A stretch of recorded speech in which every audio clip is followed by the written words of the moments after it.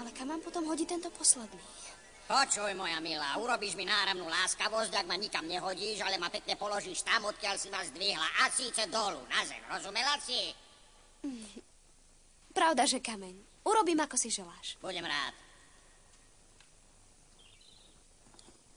Nie, tak to nie, ležal som celkom inak. Oh. Už sa ti leží lepšie? Hm, Ani nie.